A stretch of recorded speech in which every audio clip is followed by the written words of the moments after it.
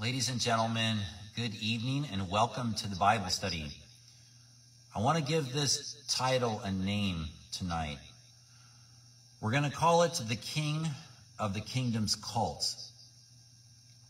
Yes, I want to focus in on one strong man. If you if you can learn in scripture how to bind the strong man, then you can ransack his house. Jesus taught us that in the gospels. Who was the strong man? Who was the strong man that he was referring to?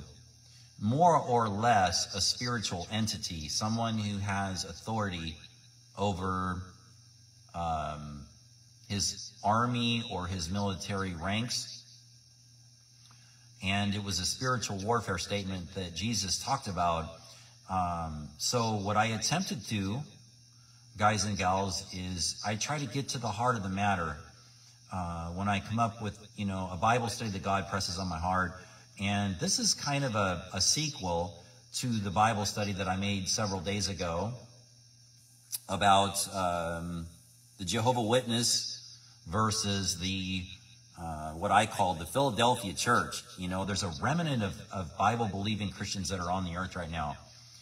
And um, Jesus told us in the book of Revelation, he said that, you know, you have little strength, but you have not denied my name.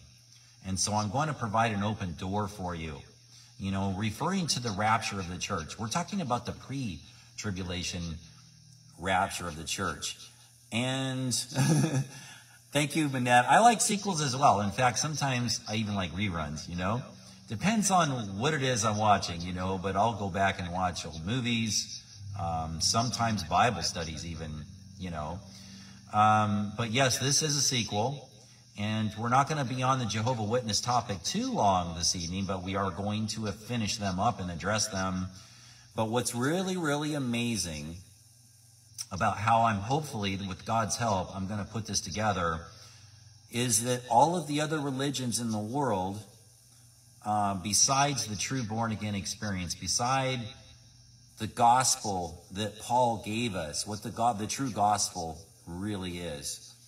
Okay? Our fables. Um, I called it in this title, cults, but it can be called in scripture another gospel. It can be called a doctrine of devils, which is what Paul calls them. Maybe I could call this title tonight, the king of the kingdoms of devils, you know, um, cults. And so the beauty of this tonight, hopefully, will be to let you all know that you don't need to be an expert in Jehovah Witness to minister to one of them. You don't need to be a, an expert in Mormonism or Roman Catholicism or Seventh day Adventism or um, Chrislam or Satanism or any of that stuff. What you need to do, and I'm going to give it to you, Jesus is going to give it to you. I'm just going to relay what he said, okay? That's my goal tonight. So when you all are um, are like, how am I going to debate this Jehovah Witness with all of his malarkey or all of his nonsense, you know, or the Mormons or whatever? Yeah, I'm back. Congratulations to me, right? yeah, they they removed the restriction off of my account finally because of me uh, talking about the um, little booklet that the IDF found in a um, Hamas leader's house in, in Gaza. And Fox News reported it, but since I told the audience what it was, I was censored for 30 days. All right? Yeah, I'm, I don't even want to go there right now, but that's, I'm back though, so good. Not telling you I'm not going to get censored again on another day. It, it's probably going to happen, but Lord, Lord willing, hopefully not too often. The goal tonight is exposing that king of the kingdom's cults. You know, there was a book called The Kingdom of the Cults years ago. I used to have that book. I think I might still have it. One of my parents' old boxes out in my container. I'll have to dig it out someday. But I, I've, I've modified their book. The book is like a phone book, by the way. It's like a, it's like a, man, it's like a thick Bible. You know, there's, I don't know, over a thousand pages of you know, doctrines of devils and how to, how to, what, where these people came from, where they sprout up from, what their motives were and all of that stuff. But what I'm here to tell you is you don't need to be an expert in all of that. You just need to know a couple of things, okay? Number one, who is the king of these kingdoms cults? And How, how is your relationship with the Lord? Are you good and solid with Him? Because you know, He's going to teach you better than I can. He's going to give, show you great and mighty things that you know not and I know not. But that's your personal walk with Him, okay? He's your best friend. He's your gu- guidance counselor. He's your therapist. He's your healer. Um, he will be sticking to you closer than a brother, your father, etc.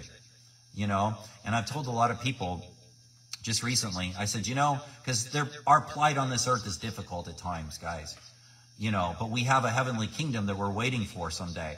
And I, have told people, I'm like, yeah, it can be hard on this in this life. But the thing is, though, is when you're uh, saved, you got the Holy Spirit living inside of you. He is your best friend. He he is with you through all of these difficulties. And imagine not having him. Here's what I want to do. I'm gonna I'm going to talk about J Dubs a little bit, but I want to send y'all a um, picture. Okay, this is going to be the theme on my picture in on my YouTube channel when I'm done with this Bible study. I want to show you this. I'm going to drop this. Oh, wait, I can't. Ah, I don't think I can. Uh, what I'll do, guys, when this is over with, I'll, I'll drop the picture for you. In fact, here's what I'm going to do right now. I'm going to go over to the chat room, okay? And this is in the left behind chat room. Let me drop this picture in there for you guys. For those of you who are connected in the chat room, I'll drop it over here real quick, okay? I love this picture. And I, this was in one of these old Bibles that I had when I was a kid. And I'll never forget this scene. And it was etched into my mind. Like, I never forgot it, even to this very day. And I was like, that's going to be what I put on the um, video, the Bible study, this message tonight, okay? Now, what it's a picture of, guys and gals, is Jesus being tempted by Satan in the wilderness, okay, before he starts his ministry. Two prominent characters in Scripture, okay? You have the devil, and then you have the Messiah, Jesus Christ, who is Jehovah Witness, Emmanuel, God with us, okay? I'm going to keep planting that seed on you while I'm doing this Bible study. Don't go anywhere. Come on, now you go, you go to our door and you knock on the door and you expect us to listen to your sales pitch, all right? It's not going to hurt you. It's not going to kill you to hang around with me for a little while and listen to what I have to say. You got a little bit of it the other day. You know, I put this this video on my Facebook um, from this evening. You know, yeah, it has something to do with the Jehovah Witnesses, but they're probably not going to like it too much. So I pull up, and there's like probably like 100 or 150 geese out in the park, right? And my dogs are just itching to get out of the truck so they can chase them. So that I drop the tailgate down, and the dogs take off and the geese are going. They were mad, boy. They were mad. And my dog was running around chasing them, and they were flying. They were telling me off. Like that reminds me of the Jehovah Witnesses because you know they're the birds of a feather flock together. Okay, Mormons you're the same way. RCs you're the same way. Chrislam, you all you all are more sneaky than everybody else. You sneak into our churches pretending to be a Christian, you're preaching another gospel that Paul talks about. You're a cult. I've had people in Baptist churches, they're cults, and they're in our churches teaching Sunday school. But the, the geese, I'm like, you know, that's a sheepdog. My dog's like a sheepdog, and he's got his King James Bible. And they don't want nothing to do with that King James Bible. As soon as you start preaching the King James Bible to them, they, they're like, they're out of here, just like they were off of my porch the other day. Thanks, Deb. But it reminded me of that. I was thinking, you know, that reminds me of, of the Jehovah Witnesses. The Mormons, not so much. They're not so, they don't get offended as quickly, although I've seen them get offended, you know, at times where you kind of see the d- demons in their eyes. But the Jehovah Witnesses, the reason why they get offended so easily is because they're not there really there for your salvation. Let's be honest. They're there, if they can convert you to a Jehovah Witness, they're happy. Okay, that's a feather in their cap. But they're only there for this, mainly to give you their flyer, because they're going to get a higher spot in heaven the more flyers they pass out. Um, false witness on me, bro. Okay, TJ, well, I'm gonna, I'm gonna get back to you on that a little bit later. Why don't you stick around and hang around on this Bible study before you go judging me or judging somebody else? Um, you should be careful what you talk about. I'm going to talk about the Jehovah Witness tonight, and I'm going to talk about every other cult. You might want to think about jumping off, all right, if it offends you. If you got a thick skin, then go ahead and stay. But I'm going to be exposing these cults. And, and just stick around, all right? And I don't care if they get, they got mad at me on my porch the other day, all right? But I never raised my voice. I never talked over them. I never interrupted them. But when I gave them the scriptures, rightly dividing, we're going to talk about that tonight. Rightly dividing, you know what? They went, oh, oh, oh, and just, oh, and they left. Okay? So, offense, it's, Jesus said this is impossible, but offenses should come. And so I'm not going, I'm not here for a popularity contest. I'm here to plant seeds. I'm here to help people find Jesus Christ, the one in the Gospels, the one that died for people's sins recognizing that we're sinners and we need a Savior. Sounds very elementary, doesn't it, if you know your Bible, but guess what? There's many people that don't even know that because they've been given another gospel. Now, this picture, getting back to this picture that I dropped in the chat room, Satan and Jesus are having a confrontation, okay? The two main characters theme in the Bible and it's been a battle going on even before the creation of man in the Garden of Eden, when Lucifer was kicked out of heaven because of, of being prideful. Okay? Now, it takes a little bit of, of consideration and meditation when you look at this picture where Satan is tempting Jesus in the wilderness. And here's the thing about it. I was there in July of 2023, and my guide took me to this very desert where Jesus fasted for 40 days and 40 nights. I was with some friends. I was with my guide. I couldn't, I couldn't hang out very long. I wished I could have been there by myself because I would have just sat, man, that would have been amazing. But I still, it still, it felt like a very special place to me. And this confrontation out in the desert is what I want to focus in on. I'm going to talk a little bit about the Jehovah Witnesses here in a few minutes. But I want, I want this audience tonight to focus in on, on this, what I'm going to be reading in the book of Matthew and in the book of Luke. All right? And hold on to, hold on to that thought. Now, I'm going to go over to some Jehovah Witness stuff. Um, okay, I'm just reading your comment, TJ. Um, about me that isn't true. Okay, well, I don't know what that is. You'll have to get back to me on that a little bit later. Um, I'm not here to talk about our back and forth comments on Facebook, but I'll be happy to take that up with you when I'm done with this, all right? I'll see what it was that you got triggered about or offended about. All right, now here, what we're going to do is this, okay? Let's talk about Jehovah Witness a little bit. I told you I was going to do a part two on this, and it's not going to be long, but I do want to finish them off. The difference between um, true born again believers, and I call them the Philadelphia church, and then cults like Jehovah Witness, all right? But Jehovah Witness, I want to teach some of you how to how to witness to them in love. Witness, witnessing to the witnesses. all right? There's a scenario that the Jehovah Witnesses teach about the end times. It's not in the Bible and it doesn't deter them in the least, by the way. They believe it's there because the watchtower has convinced them all right? They continue to misinterpret Scripture as they go from door to door, warning of the perils of Armageddon and attacking all biblical doctrines. They continue to be successful at luring, here we go, unsuspecting and unschooled people into their ranks. They thought I was unsuspecting. They thought I didn't know my Bible when I came up. You know what? There's a good chance when they knocked on my door that I don't know the, the Bible, that I don't know it because most of the people in this community around here, and especially in blue states, blue cities, don't know their Bible.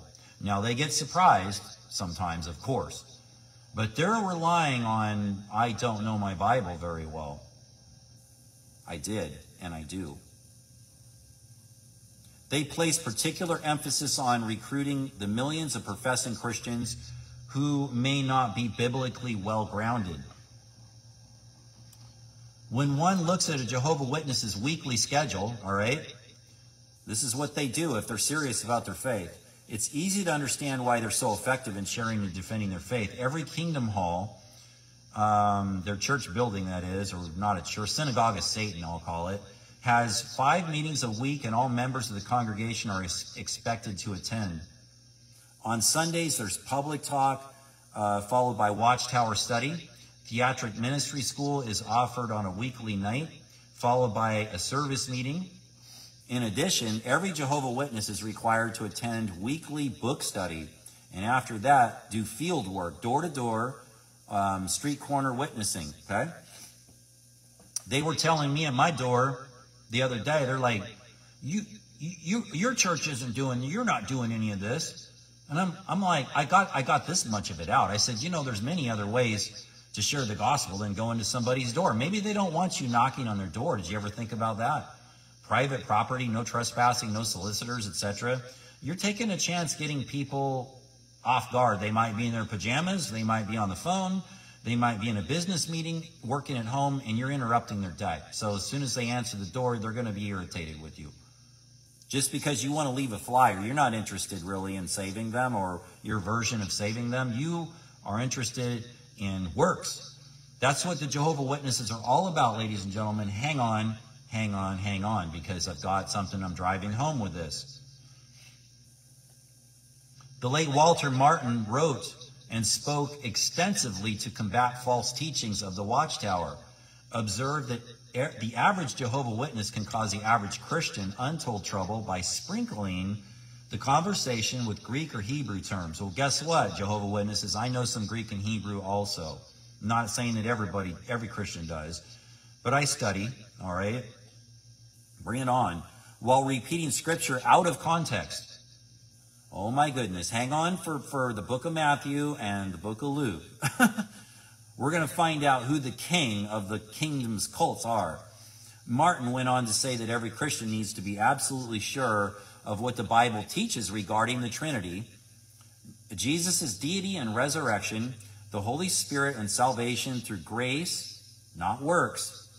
If you hope to answer, much less witness to these Jehovah Witnesses who come to your door, you need these Bible basics to give a reason for the hope that you have within you. That's 1 Peter 3:15. And I'll get some more comments later, guys. I'm just going to stay focused on this, but I'll check them before we're done, okay? And then if you want to, you know, make a comment to me directly, I'll still scan, but I'll try to catch you at the end. Thanks for your patience. Okay.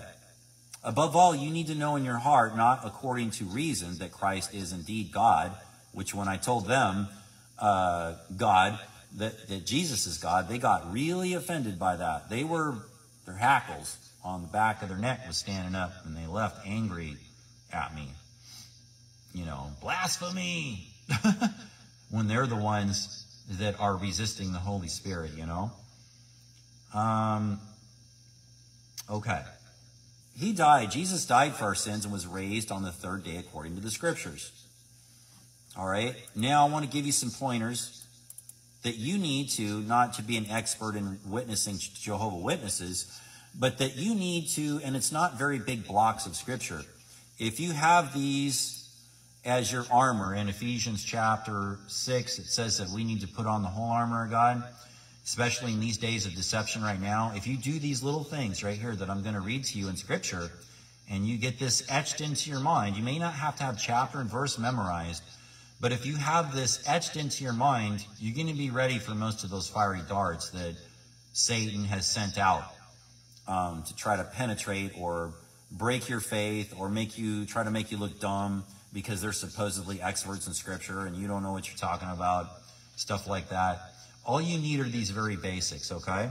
Let me show you the difference between Christians and Jehovah Witnesses. And this is in regarding authority. Jehovah Witnesses may do independent thinking um, and must absolutely adhere to the decisions of scriptural understanding of the Watchtower Society. So, you know what's very common with them and the Roman Catholics and the Mormons and Islam? It's the same thing. Um, you have to check in with the, the Watchtower Society, all right? You gotta, you got to submit to their authority as far as whatever they tell you is right. You're committed to that. Christians depend on the guidance of the Holy Spirit and the scriptures to learn to obey God, not a man. Now, let me give you this. Uh, please jot these scriptures down. There's not a lot here. Just jot them down, okay? Um, who are you relying on? Are you relying on a Bible teacher, a pastor, an evangelist? Um, let's say they have the Holy Spirit, God given Holy Spirit in them. Great. Great, great, great. Okay? But remember, above all else, above all else, those folks have to pass the litmus test of Scripture themselves. And so do I. Okay? And your best friend, by the way, is the Holy Spirit. And He teaches you. These scriptures I'm referring to is in Acts chapter 5, verse 29. That's the first one. The same book, but chapter 17, verse 11. And then 1 John chapter 2, verse 26 and 27. Regarding authority. Okay? Your final authority, every one of you, brother and sisters, your final authority is Jesus Christ through the Holy Spirit. He's waiting to commune with you in the Bible. The Mormons don't like that. The Jehovah Witness don't like that. Islam doesn't like that. Chrislam doesn't like that. They all want someone standing on a podium giving you and teaching you and telling you how it is and trying to strip you of your free thinking abilities, which our politicians are doing that now. Uh, mainstream media does that. They're masters at it. They get you lured in. They can they trigger you on purpose. Let me let me give you an example. You want to you want to see some deception? Here's some deception for you. I get a letter like once a week from a mortgage company telling me I'm late on my mortgage. All right? They're not my mortgage company. I know who my mortgage company is, and it's automatically taken out of my bank every month. But they're telling me I'm delinquent, I need to call them, blah, blah, blah, blah, blah, blah. They're not my mortgage company, they're scammers. All right? Deception. Do I, am I going to listen to whoever's barking at me in this letter? Oh, you better call us. You're delinquent. Your credit's going to be bad.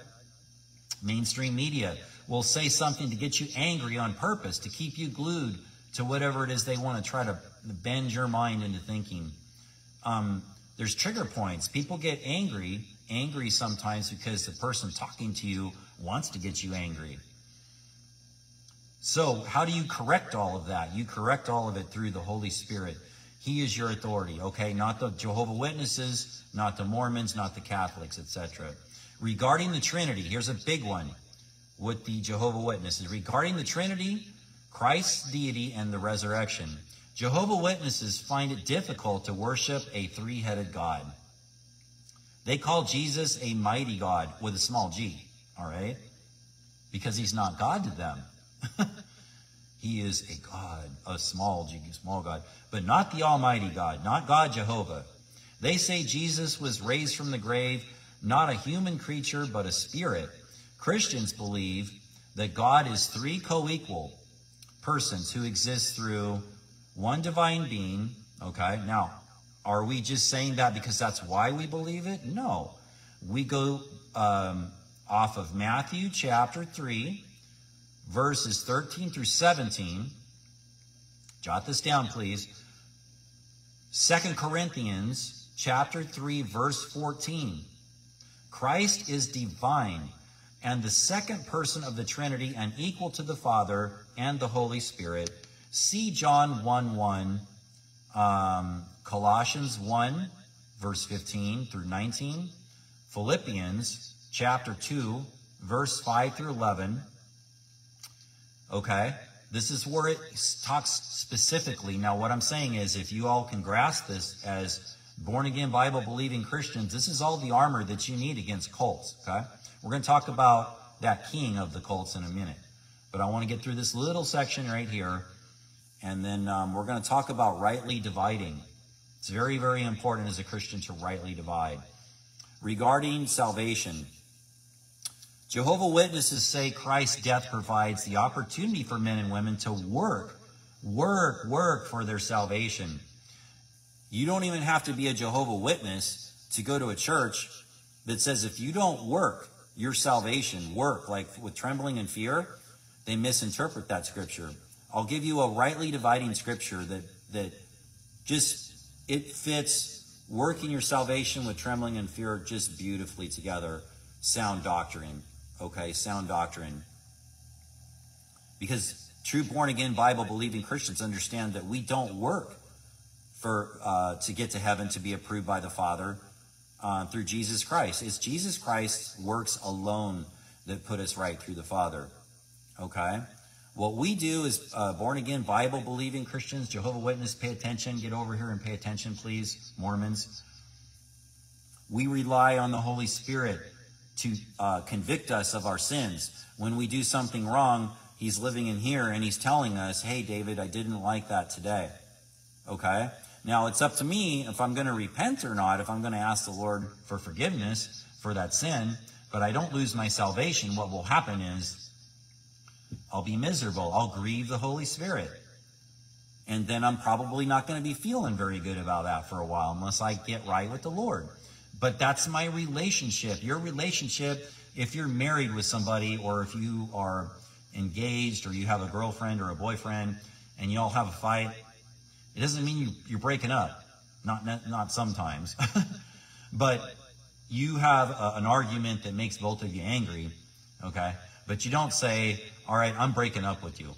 I'm breaking up with you because this was, know, like a lot of people do that. But you know, if you're mature, you work it out okay? And you come back and you say, I'm sorry or whatever. It's even more so uh, serious when you have a born again Bible believing experience. You can't lose your salvation because it's a blood covenant. Blood covenants are the, the strongest covenant that God can make with man. This is why Israel, by the way, will never lose their um, covenant through Abraham with God. He's going to restore Jerusalem and Israel to those original boundaries that God promised him in the Old Testament. Amen, Joey. That's exactly correct. We are saved. We are not saved by works, but by grace. Amen. Hallelujah. That's exactly right. Yes, the born again Bible believing experience is a blood covenant. Jesus died on the cross for our sins. He shed his blood.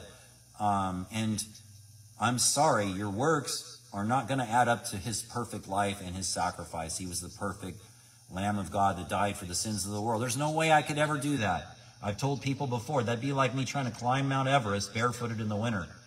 I can't get to the top. I probably wouldn't make it 100 feet. And I'd slip and fall and hurt myself. That's what these Jehovah Witnesses are trying to do. They're trying to climb Mount Everest. Paul says it's another gospel. He says in the book of Galatians, let them be accursed. If anybody preaches another gospel under the, than the one I've given you, let them be accursed. You know, the Bible says to curse and bless not. Okay? But Paul says if they're giving you another gospel, let them be accursed. So how serious is it to God when someone comes to you knocking on your door with another gospel? Let them be accursed. You know why? How, you know, because souls are at stake. People are dying and going to hell every day because of the Jehovah Witness destruction, because of the Mormon destruction, because of the Roman Catholic destruction, because they, those people have convinced you that your works are going to get you there. And by the way, there's Christians that are not mature enough yet. And I was at that point one time in my life when I was really young. I thought I'm going I'm never going to make it. I'm never going to make it as a Christian because I can't, I can't make it. God's going to throw me away. And then when I got a little bit older, the first thing that happened to me was I find I, I discovered how much God really, really loves me. Okay, and He loves you too, by the way. And what He did for us on the cross is a blood covenant that can't be broken. It only relies, it only relies on God's faithfulness, and He won't break His word. People break their word all the time, ladies and gentlemen. They break. I've had a million broken promises, all right? And there's times where I haven't been able to keep my own promises. But does God break his? Nope. Nope, not blood covenants. No way. No way, Jose. Okay? So, uh, let's cover the last point of this, and I'm going to take you to the book of Matthew and the book of Luke. This is going to be really good. Hang in there. Jehovah Witnesses believe regarding um, Jesus' return and immortality. I, I touched on some of these um, with the two Watchtower women the other day. Jehovah Witnesses believe that Christ returned to earth invisibly in 1914, all right? And now, now rules from heaven, no longer visible to human sight. They claim that man does not have an immortal soul. At death, man's spirit, life force, goes out and no longer exists. Christians believe that Christ will return to earth physically, visibly, audibly. I told them that the other day. See 1 Thessalonians chapter 4 verses 1 through 17. And you all know that one, right? That's the pre-tribulation rapture, the church description part of that. And that either goes to be with Christ, that's us, born again Bible believing Christians, Luke 23, 46, 2 Corinthians 5, 8, uh, chapter, I'm sorry, chapter 5, verse 8, Philippians chapter 1, verses 22 and 23, or awaits judgment. See John chapter 5, verse 24 through 30. Now, on a parting note for Jehovah Witnesses, this is what I want to tell you folks. Um, there's a lot I could tell you, but I'm going to leave this little thought in your mind, okay? Tell me, ladies and gentlemen, can you think of a movie that you've watched in the past that's like your favorite, your all-time favorite movie? And someone asked me that question. I really can't tell them I have an all-time favorite because there's a lot of movies that I've enjoyed watching over the years. Do you remember who that, that, that main actor was in the movie? Do you remember who it was? Let's just say, for example, um, and I don't know if this is a good example or not, but let's just say Top Gun. All right. Who's the main actor in Top Gun? Tom Cruise, right? Tom Cruise is the main actor in Top Gun. So, so the Jehovah Witnesses, right? This is what I would tell the Jehovah Witnesses. In in the Bible, one of the main stars in the Bible, okay, is Israel. They, when you read the Bible, Israel is the main star in Scripture. All right? And some people will go, no, Jesus is the main star. Or God is the main star. Uh, yeah, of course, but Jesus was born in Bethlehem. he is, um, you know, of Joseph and Mary, born of a virgin, by the way, but, you know, the lineage goes back. Um, Israel, uh, my point is, Israel is the main star in Scripture. Now, you Jehovah Witnesses, have tried to change the copyright on that and make it all about you and, and some people from America that have conformed scripture because you didn't like hearing about hell and, and eternal damnation and things like that. You, that just didn't fit um, your narrative very good. So you had that one guy that changed it. He, he conformed it to how he liked it to be because he got with some Adventists and said, oh, the hell is not real. And he liked that. And that's how your Jehovah Witness cult was formed, okay? Satan doesn't like the prosperity of hell either, by the way. So, my point is, um, cults out there, you do have a place in Scripture, but it's not in a very good light, okay? It's kind of in a dark place. But you're mentioned in Scripture. You're called a cult. Uh, we call you a cult. Um, Paul calls you a doctrine of devils. He calls you uh, another gospel in the book of Galatians. And he furthermore, I didn't say this. Paul says, you have a curse on you, okay? You have a curse. Now, if you're going to be angry with me, go ahead. Because I've got a thick skin and I'm not here to win a popularity contest like I said that earlier tonight on my Bible studies. I'm not here for a popularity contest. I'm trying to do what God wants me to do with these, opening these Bible verses up. Speaking of which, let's do that right now, okay? Let's do this. All right. And then we're going to be done, ladies and gentlemen. Um, thank you for sticking with me on this. All right. Now, that picture I dropped in the left behind chat room shows this. This is like kind of like the finale for me. Okay. This is like the finale. Um, you have two main uh, characters um, pretty much in scripture. You know, Israel is the place where Christians need to be paying attention because that's like our that's our that's our our time time clock time watch for when Jesus is returning first for his bride the church and then he's going to come back for his people the Jews. All right? And they will learn who their true Messiah is. Tick tock tick tock it's coming. All right? They're going to cry. When they see him coming back they're going to cry and they're going to mourn as someone who had mourned mourned losing a son. You know, they're going to, their eyes are going to be opened after the time of Jacob's trouble is over with. And they're going to weep and weep and cry and cry and cry that they, they had a hand in crucifying their Messiah, you know. But we all did, you know, ladies and gentlemen, we all had a place in why Jesus had to die for us because we have a sin problem, you know? But picture Satan and Jesus in this wilderness, okay? I was there. It was so amazing, and I wish I could have stayed like for a while. I wanted to stay um, and just pray and have a Bible, and just that would have been amazing, but I couldn't stay very long. It was just a blessing to be there. But anyway, you have these two main characters, okay? You have the Lord, and then you have the devil, all right? We're going to read about this in a minute. And I know many of you probably heard this story a thousand times, but you know, scripture's alive, and we might pull a few gold nuggets out of this before I'm done reading it. Let's see what happens.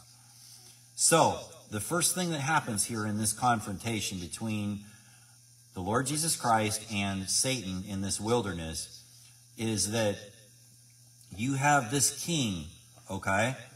And we're going to learn that he is a king. Um, and he's, he is a king of the kingdom of cults, false religions out there. He is the author of all of them, okay? He's the author of all the false religions, and he comes right to Jesus right at the very beginning.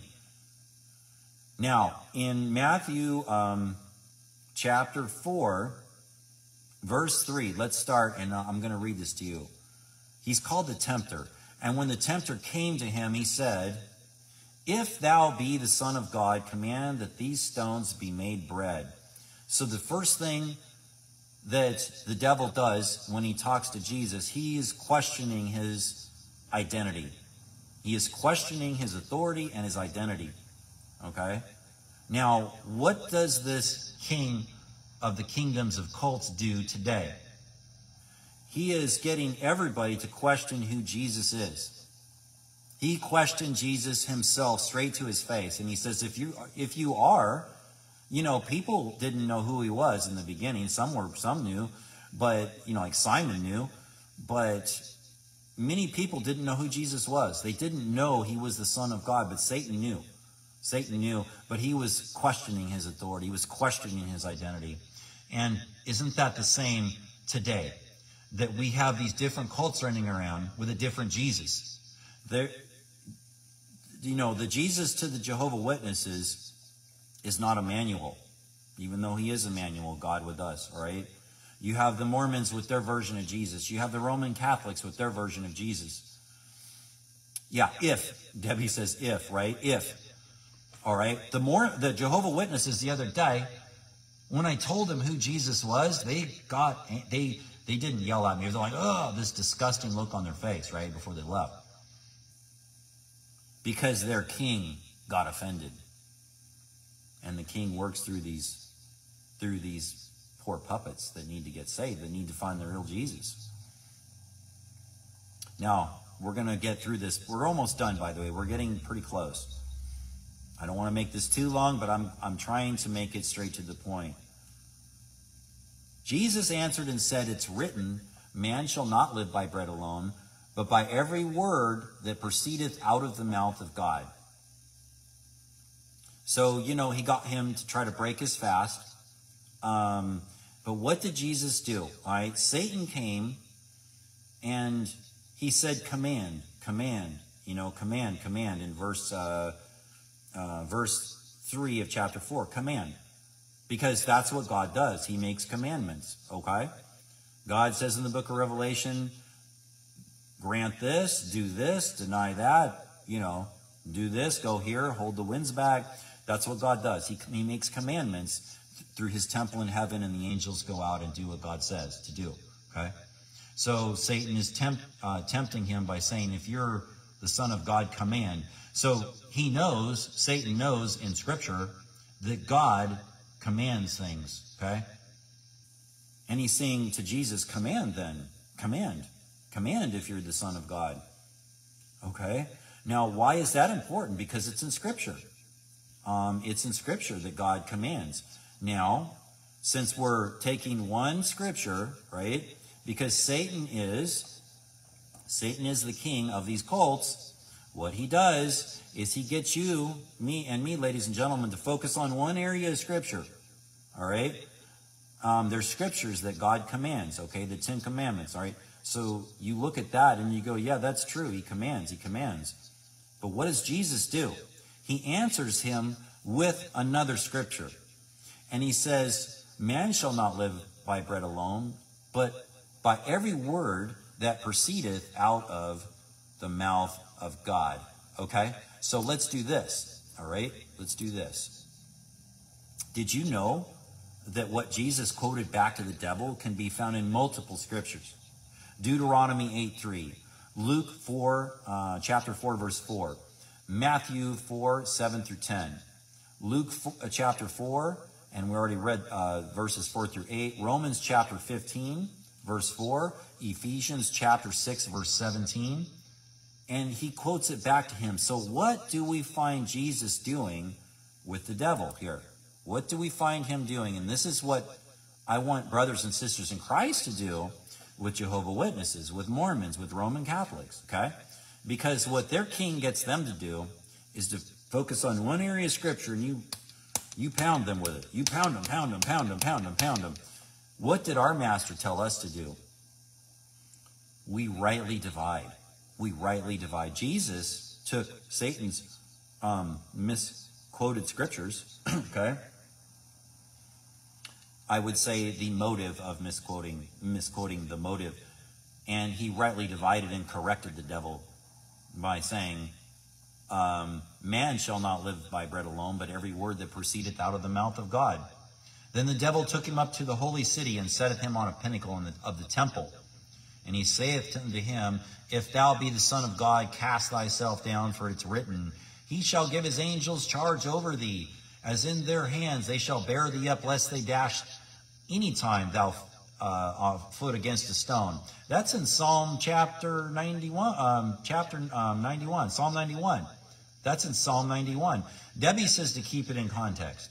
Exactly. So the cults, Deb and everybody else that's paying attention, they, they, they do just like their master does, okay, the devil. They'll take one area and they, they, they feed that to you, okay? And they might even use a King James, but the, uh, I think it's what did the Jehovah Witness use? They use a World Reformation version. It's totally twisted version of the Bible. But the, the King James, if someone does use a King James on you and they're being manipulated, okay, maybe unknowingly a lot of times, they're only doing what their father is, you know, motivating them to do, just to focus on one area, right? And not rightly divide. Jesus rightly divides the scriptures. And I want to I want to show you something else that's really really cool about this when I get down to the bottom here. I'm almost done. I keep saying that, but I am. I promise. And he's uh, okay. So the de- uh, the devil told you know he tempted him. Okay. Here's how Jesus replied. He says, "It written, you shall not tempt the Lord thy God." So that's rightly dividing. Satan tried to use Scripture, Psalm 91, to get him to commit suicide, and Jesus rightly divided and told him, "You shall not tempt the Lord thy God." Again, the devil taketh him to an exceedingly high mountain and showed him uh, all the kingdoms and the world and the glory of them. In a moment, and in the book of Luke, I won't go there, but in the book of Luke, you can read a short version of this temptation situation here. And it says, in a moment of time. So Satan showed the kingdoms of the world, probably from ancient times to 2023 all right, and, and, showed Jesus all of this. And he said unto him, All these things I will give thee if thou wilt fall down and worship me. Jesus saith unto him, Get thee hence, Satan, for it is written, Thou shalt worship the Lord thy God, and him only thou shalt serve. And there's that's rightly dividing the scripture. And then the devil left him. And behold, the angels came and ministered to him. Just Psalm 91 to top it off, right? Satan tried to misquote Psalm 91. Jesus corrected him, and then when he left, the angels, because angels came and ministered, and they'll come and minister to you, just like it says in Psalm 91. So cool. So cool, guys. Now, here's what I want to leave you with, okay? Um, and I'm going to just pull this up on the fly. Okay.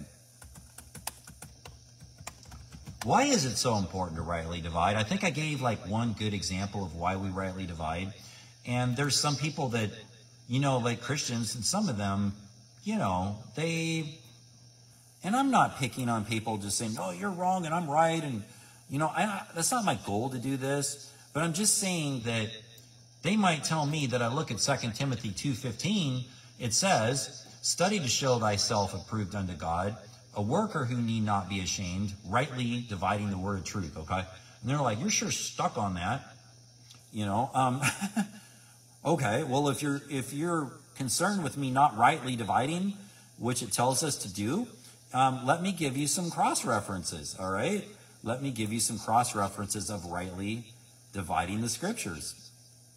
In Hebrews chapter 4:11, let's go there, okay? This is called rightly dividing, rightly dividing. so we're rightly dividing um, the rightly dividing passage, okay? Let's pull it up. Okay, one second here. Let me grab this. All right. Um, okay. One second. Let me pull this up. Sorry, my I want the King James version, so just hang tight with me for one second. Okay. I just need a minute. Okay. There is boatloads of scriptures, okay, about rightly dividing, not just in 2 Timothy 2.15. It's very, very important, and this is what we call sound doctrine, okay? Um, sound doctrine is taking an area of scripture which the Jehovah Witness and the Mormons and the Roman Catholics, they are amateurs at this, okay? Why do I call them amateurs? Because they have this kingdom hall thing where some demonically inspired person is telling them the way it's going to be. Oh, let me get that for you, Deb. I'm working on that. Okay. Um, okay, 1 Corinthians 3 1. Okay. Um, one second here. And I'm going to do this other thing. I'm going to give you the blue letter Bible cross references in the chat. Okay. Just one second. Let me get down to King James. All right. Even I, brethren, could not speak to you as unto spiritual, but as unto carnal, even as unto babies in Christ. Okay? And so what, what uh, Paul is saying here to, um, he's not calling them carnal Christians, but he's like, you're babies in Christ. So I have to talk to you with these passages of scripture that you're able to understand. Um, I am, Terry. I'm doing really well. Thank you. Um, I'm going to post this. Let me post this in the chat. I know I can do this. I can't post images in the chat, but I want to give you cross references to rightly dividing the scriptures. Now, I, I don't have time uh, in this Bible study to talk to you all about um, why I believe that King James is a very important translation of the Bible to be in. And I'm not saying that you all can't get saved in another version of the Bible. Um, I know that there's some Christians in our group that love King, um, sorry, New King James and some other ones.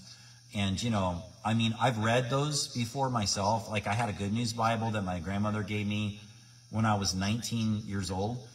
And um, I read it for the first, that's the first Bible that I read from cover to cover was a Good News.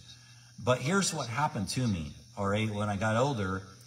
Um, I started to learn that it wasn't so important for me to have somebody else remove the these and the thous and some of those old English words that I felt like, oh, I don't need to know that. It's, I need someone to make it easy for me to read. Well, this is how the king of the kingdoms of the cults gets in, and you can't trust these people, guys. So, yeah, there's easier versions to read, okay? And, you know, um, there's important passages you can get saved in, of course, and you can still read the same stories. But, but the thing is, we're living in days of deception. There's, I forgot how many different translations that there is now, but it's really off the charts. It's crazy. And even LGBTQ has their own version of the Bible now. You can let your imagination run wild with you on what you think's in there. But my point is, is that I want to go back to King James, okay? Even though some of the words are a little more difficult for people that we don't use to understand, I told the Jehovah Witness, on the deck. Um, they're like, oh, we don't use that because you don't need the thee and the down and all. And I said, look, I like to study, ladies. I like my time with the Holy Spirit. I don't want someone telling me what it means or that this means or that means. I like to do my own independent um, study. I like to look up Greek and Hebrew. I like to use cross reference. I like to rightly divide. I like Strong's Concordance. I like to study. You know why? Because a lot of the gold nuggets that I share with people um, on social media, like right now, a lot of what I have shared with some of you in the past has came from my own independent research. And who, who gets the credit for whatever it is that I find that's amazing? It's God. He's the one. I'm not taking no credit for nothing. He's the one that reveals amazing things to me that I share with some of you out there that remember what I talk about.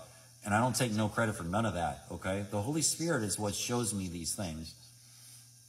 We're seeing incredible Bible prophecy being fulfilled in Israel right now. And this whole thing with Hamas is in Scripture. big time. Big time. It's there. And this peace deal, I'm pretty sure the one after we get raptured is going to happen. Antichrist will sign in Daniel 9:27. He'll confirm it in Daniel 9:27. That's being formed as I speak right now. I look, we might have a year or two left before the church is raptured. I don't know. I'm telling you though, everything is in place for the seven year tribulation to begin. Everything. We're talking the image of the beast in Revelation 13. We're talking about a departure of the faith, giving heed to seducing spirits and doctrines of devils. Uh, they will not endure sound doctrine anymore. We're living in the days of Noah and Sodom and Gomorrah now. I don't think I need to give you any evidence for some of you who are paying attention. You know, you can go on there and look for yourself. Like, come on this whole craziness that we got going on in our country and around the world, and you have people with the spirit of Antichrist. Many have gone out into the world. Paul says, little children, it's the last hour. That was a future prophecy reference to not 2,000 years ago. That was for now. All right. Paul said, little children, it's the last hour.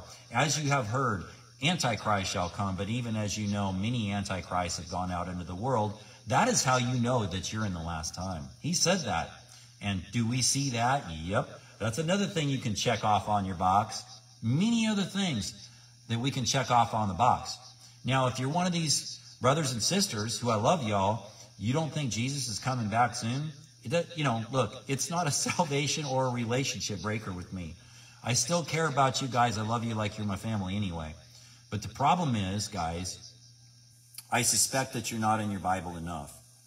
You might be, you might be conformed to what some speaker or some Laodicean type of minister has told you that's more important to read about than something else. Okay? Salvation is the end all be all for us because we need to, we need to know how to get saved and be saved and going to heaven. But the thing is though, once you get saved, then you need to be paying attention to the times and the seasons. I didn't say that. Jesus says that. He says it himself, not me. He rebuked the Pharisees for not knowing the time of their visitation. And what did what does it say? What did Paul say? He said, um, "When they cry peace and safety, then sudden destruction cometh upon them, as a woman in labor." What is it I talk about all the time? The coming of the Lord is like labor pains. Okay, so they're crying peace and safety right now. Peace and safety, peace and safety, peace and security all the time. All the time. And it's, you know, Jerusalem and Israel have become, it's becoming a cup of trembling. Right now, it's a cup of trembling, only to get more intense. But right now, you have the United Nations. you have, uh, who else was it? Who else? It's, it's uh, Russia. I just saw this on the news today. They're calling for a two-state solution. They're telling the United Nations, they look, you gotta, you gotta put a stop to this in, in Gaza. Gotta put a stop to it. Israel has every right to defend themselves, all right? Put a stop, put a, we gotta get a two-state solution put together. What does that mean in scripture? What does that mean for Bible-believing Christians when they're talking about a two-state solution? I've been sitting for too long. Let me get out of my chair, okay? I'm going to tell you all what it means. Joel chapter 3, verse 2 talks about God saying uh, to the Palestinians, O people of Palestine, um, are you going to recompense me for the land that you've basically taken from me? And if you try to recompense me, Quickly and speedily will I return your recompense upon your own heads. It's right there if y'all want to go look at it. What does that mean? It means that the Palestinians are going to get their state. And they're crying for it right now. Does it mean it's going to happen tomorrow? No. Next week? No. Next year? No. But you know what?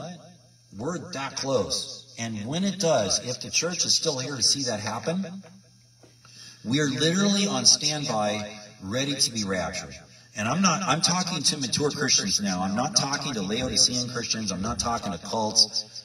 You all are going to go do what you're going to do no matter what I say, all right? I understand, all right? So I'm not trying to make you believe what I believe, but other believers, we're talking the family of God here.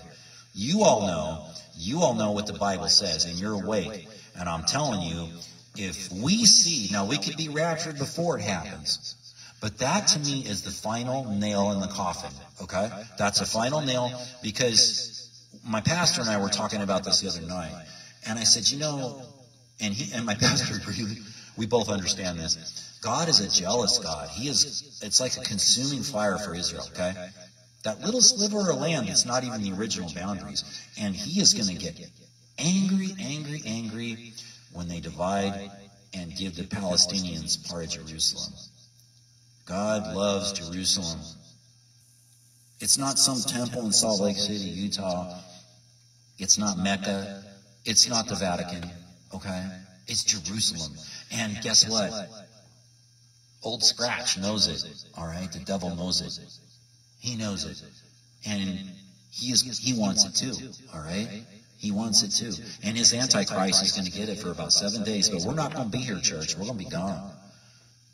I'm not predicting a day and hour, but I'm telling you how close it is, and God's going to allow me to, He allows me to do that. All right. He is allow, He allows me with His blessing, by the way, to tell you that we're close. Don't know the day or the hour, but He is, with God's blessing, I can confidently tell you in the scriptures, He wants His watchmen and watchwomen with a spirit of that. I'm not a literal watchman, okay? I'm not an Old Testament watchman sitting on the wall. But I have, I have a, um, a, a motive, uh, you know, as being awake to the times and the seasons that we're living in, okay? Like some people put fancy titles on that, you know, like watchman, watchwoman. I see that all the time. I mean, I'm awake and aware of what's going on, so I'm trying to warn people.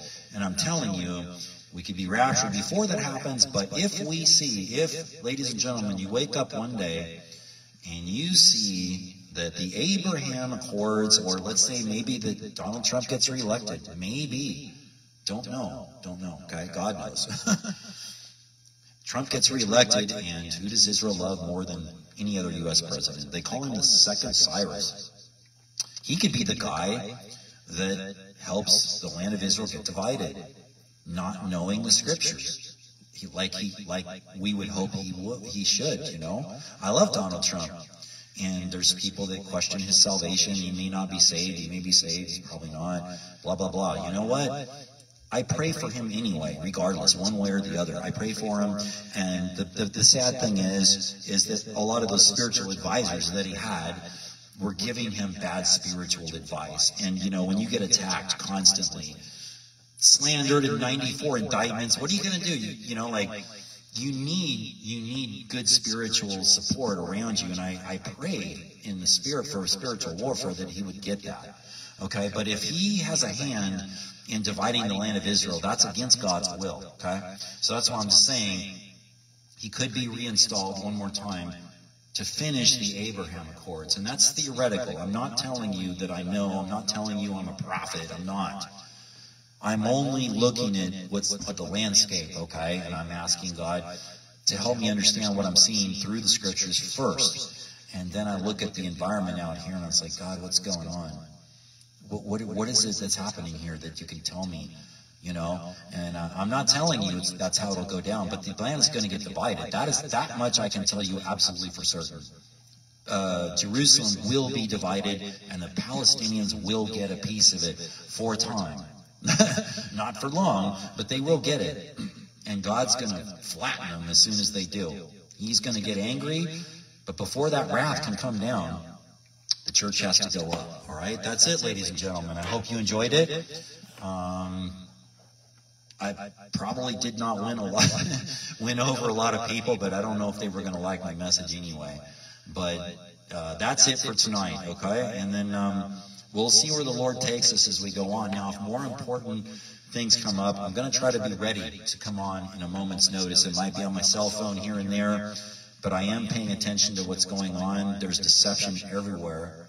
Stay in the Bible, all right? Um, maybe I'll give you a recap of some scriptures that you need to be armored up with as a Christian. And I, I want the people that are in our group, all right, the Christians that are in our group, I want you all to be ready. Remember about the Trinity. Remember about the deity of our Lord and Savior Jesus Christ. He is God. He's God.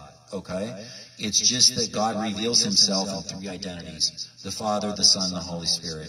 Now, if you want me to try to explain how that works, no, I'm not going to be able to do that. Okay? God is very, what he does and his thoughts and his ways are so far above ours, ladies and gentlemen. I can't even begin to pretend to tell you how he does the miraculous and mysterious things that he does, but I can tell you what scripture teaches us. Okay? And the Holy Spirit lives in us, born again, Bible believing Christians. We're going to talk about eternal security in the future. Okay? Eternal security is very important. Um, you're welcome, Annette. Thank you. And God bless you too. God bless all of you tonight. Share this video, okay? Let it go out. I'm going to put it up on YouTube. And um, let's give them a message. You know, they may not like it, but they got to hear it. They've got to hear it. And I'm not leaving the Mormons out. I'm not leaving Roman Catholics out. Lord willing, if I get a chance to talk about them, I will. And uh, but their king, they only have one king, and you know who that is. All right. God bless you all. Have a good night, and I'll see you in the next Bible study.